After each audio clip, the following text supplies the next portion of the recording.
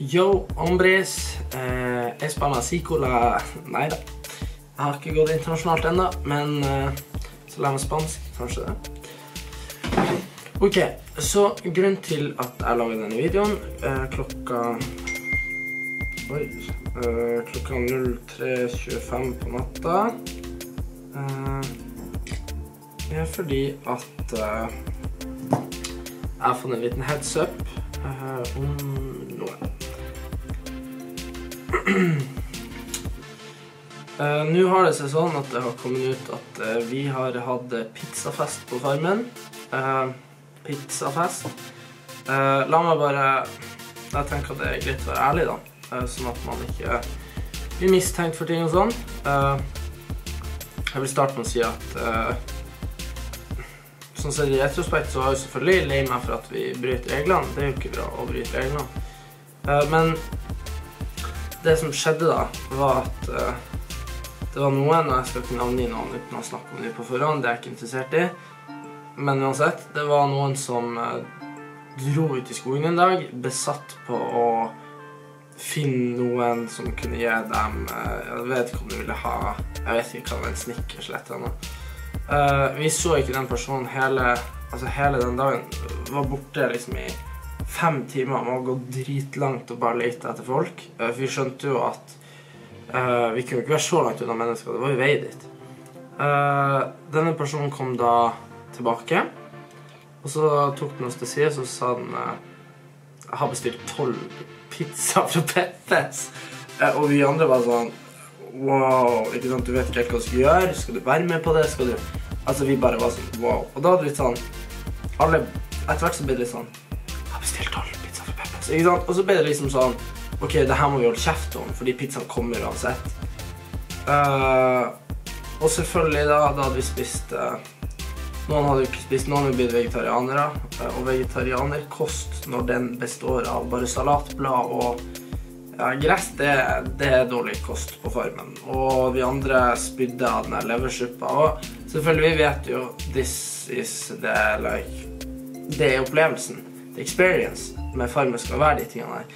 Men eh, altså når det bare kommer sånn at ok, pizzaen ruller opp på døra, ja, da skjønner jeg at folk har litt etter. Og jeg skal helt ærlig innrømme det at når det kommer til TV-produksjon og sånn, så er det litt sånn at man er hele tida på utkikk etter kanskje å produksjonen litt. Det er jo sånn type eh, Når jeg var på Paradise Hotel, så husker jeg liksom at når kameraet var av, så hviska gjerne folk, ikke sant, og det var sånn Hei, du, ikke hvisk, og sånn. Og det er bare fordi at du er på en måte du, du er i en situasjon du aldri vil finne deg i i, vanlig, i det vanlige liv. Du vil aldri være i en sånn situasjon at for det første så har den andre kontroll over deg, den andre bestemmer over deg.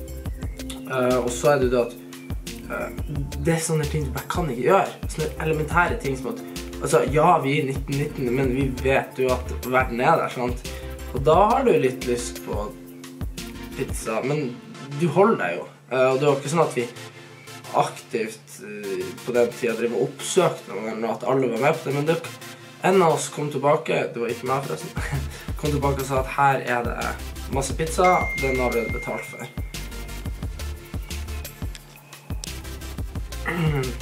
Det som skjedde videre, var at det var en person som sa jeg skal ikke ha noe. Uh, og det var. Det var en person som sa at han ikke ville ha pizza, og det var han Ronar Pulk. Uh, han uh, satt faktisk på rommet og ville ikke ha pizza. Det som skjedde, i hvert fall da, var at det var en fyr. Bodde et stykke utenfor gården. Godt stykke. Uh, jeg var en uh, Jeg ble spurt om jeg hadde lyst til å være med og hente de greiene.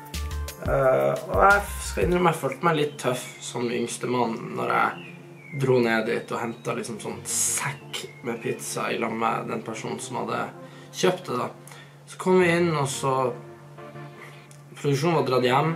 Uh, vi var låst inne, vi skrudde alle lysene. Vi satt der som 13-åringer som hadde sneket seg unna med lita øl på, på leirskolen. Liksom satt vi der, voksne mennesker, og bare spiste litt og så ut vinduet, og noen holdt vakt. Og det var det vi gjorde, da. Spiste noen pi- altså, Vi spiste en pizza hver, omtrent, selvfølgelig. Men, men eh, vi spiste, og så, så gikk eh, hva, hva skjedde da? Noen gikk og gravde ned uh, pizza i poteten. eh, bare for å gjemme maten, for liksom, maten kan du ikke brenne, da lukter det jo brent mat. Uh, og så gikk noen ut og brente pizzaesken i ovnen midt på natta. Og liksom og Det var liksom så adrenalinkick du kan få det. For akkurat der da så føltes det liksom ikke ut som noe svik mot det norske folk eller mot konkurransen eller noen ting. Det, det, det var mer det var mer bare spenningsrush og det her at man er så sulten at man, man holder sånn legitimt på. Man har aldri opplevd det i det vanlige liv. Det er kanskje hvis man hadde anoreksi eller noe sånt, men da har man jo vært eh, Da har man jo hatt en, ytre motivasjon som har gjort deg ko-ko, ikke sant. Vi Jeg bare Jeg husker jeg, jeg Men det verste av alt var at pizzaen smakte veldig godt først, og så etter hvert så var den ikke så god. Det var liksom ikke så nice. Um, men det var det som skjedde. Jeg er veldig lei meg for Jeg ser for meg at det kommer en del reaksjoner utover dagen og sånn. Jeg var med på det. Eh, Det har jeg aldri meg for. Og Det hadde ingenting å si, eh, men, men jeg er lei meg. Og det, det høres kanskje litt dumt ut og sånn, og, og, og vi hadde det kjempegøy når vi gjorde det og sånn, men det er dumt at vi ikke fulgte reglene. Men igjen, da, så Jeg hadde med meg en iPod som jeg satt på når jeg var ute av Paris Hotel og, og satt på internett og sånn jeg var ute. Det, gjorde ikke den store forskjellen akkurat.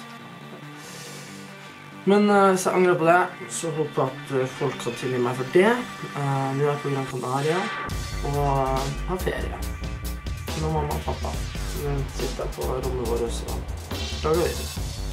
Nei, men det er hyggelig. Eh, subscribe på kanalen min hvis du vil ha mer inside info om både Farmen kjendis, årets sesong av Paradise Hotel eller noe annet i livet mitt. Eh, jeg skal prøve å være flink til oppdatere. Og så ses vi. Nei, det er bare tull. ha det bra.